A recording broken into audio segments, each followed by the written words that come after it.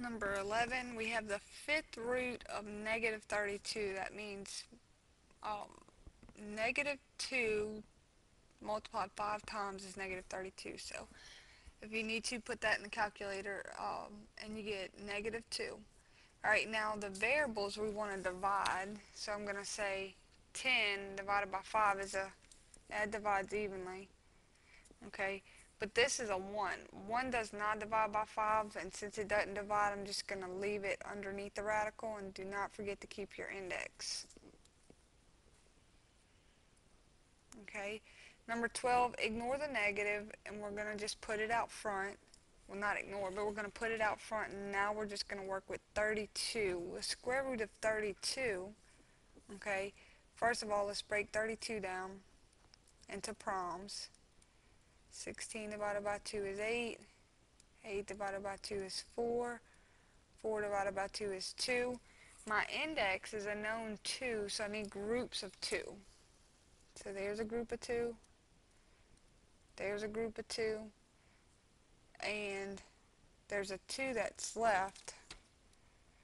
Right there, that 2 should have been in a box. So there's a 2 that's left on the outside, so it goes under the radical. So this becomes 4 square root of 2 because it wasn't grouped. So that becomes 4, and I'm going to have the square root of 2, and I'm putting a little bit of space in between here and here because I haven't worked with the variables yet. Now I need to work with 8 um, my variables. 8 divided by 2 is 4, so that's going to be a to the 4th. Okay, now b is 7 divided by 2. Now I'm going to do that one over here. 7 divided by 2. Remember we said this is our outside exponent. This one is our inside exponent for the variable. So it becomes b to the outside is 3. Inside of the radical exponent is a known 1.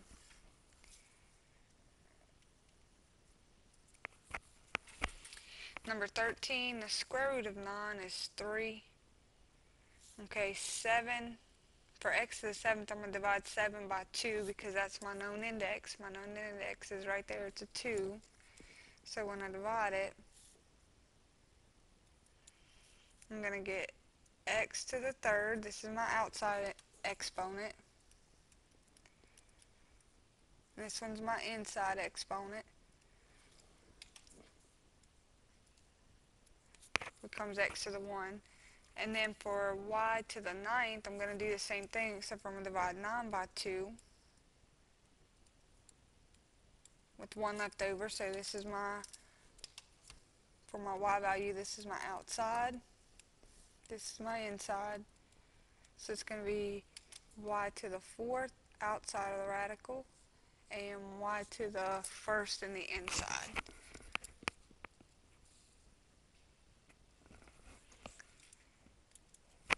Alright, now we're going to be working with imaginary units, written i. It's a number whose square is negative 1. We have two properties we're looking at, and it's i squared equals negative 1, or um, we also have the other form of it that's i equals the square root of negative 1.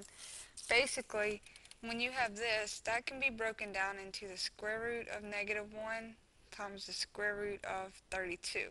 Okay, square root of negative 1 becomes the i. Square root of 32, we break down like we've been doing in the previous lessons. By doing our factors and then taking groups of 2 so that becomes a 2 that becomes a 2 and this one's left the last one's left under the radical so it becomes 4 square root of 2 so this becomes 4 square root of 2. To combine those, I'm just going to get 4i square root of 2. Let me rewrite that. 4i square root of 2. Alright, number 15, this negative sign stays out front.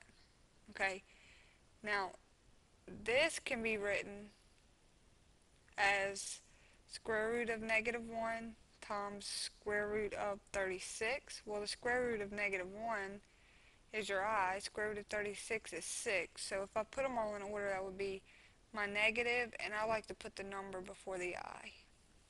Negative 6i. Okay. Number 16, if I leave this 4 out front, okay, and then I'm going to take this and say it's the square root of negative 1 times the square root of 20. The square root of negative 1 becomes i. And the square root of 20, let's break it down. Alright, and because my index is a 2, I need groups of 2, so that becomes 2 square root of 5. So this is 2 square root of 5. Multiplying these two together, I have 2 i square root of 5 and then I have this 4 that was sitting out front. So I'll multiply those and I'm going to say 4 times 2 is 8i and then you have square root of 5 and then uh, number 17 I want to break this apart. That's going to be square root of a negative 1 times the square root of 63 Let's break 63 down. It doesn't divide by 2, but it divides by 3. And it goes 21 times. 21 divides by 3 7 times. And since it's the index of square root of 63 is a 2, I want groups of 2. So it becomes 3 square root of 7. That becomes 3 square root of 7. And this becomes i. So when I multiply those together, I just get 3 i square root of 7.